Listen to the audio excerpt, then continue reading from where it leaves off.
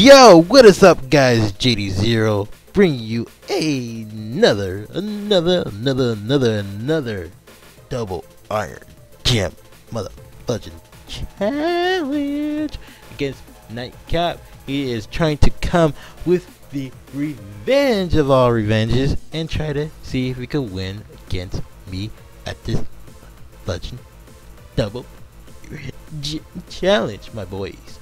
So we're gonna go ahead and get into it with another battle. I I still feel like I should be running Choice Scarf, but I feel like I shouldn't run Choice Scarf. Or maybe I don't know. I feel like having the Thunder Wave is a plus. I ain't gonna lie. Feel having the Thunder Wave it is a plus to have. It is a plus to have. I ain't gonna lie, it is a plus to have. Um, which gradually sucks at the moment. Which gradually sucks. Uh.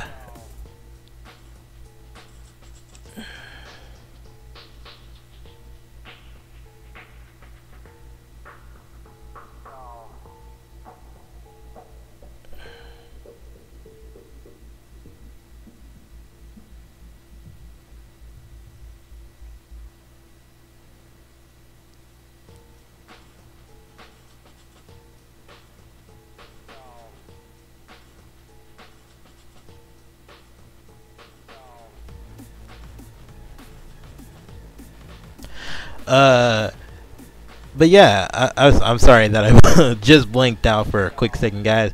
I was just uh, messaging, just making sure uh, that Nightcap won't use his fire type Pokemon in our matches because it is in the rules to not use fire type Pokemon. So just like, just making sure on that. You know, you always gotta make sure on that.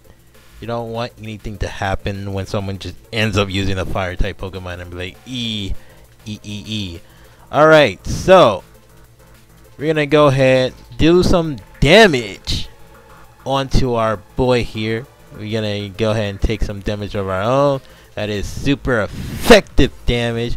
Weakness policy does go motherfudging off on me, which is not not too good not okay. But hey, know, it's it's good what you good. It's good. It's good what you good. We're gonna go for the nice iron head onto the zapper here. Because why not?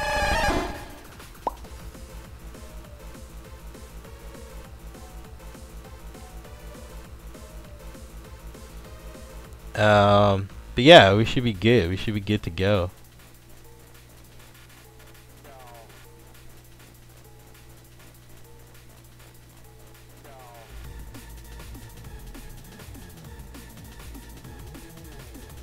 Oh wow.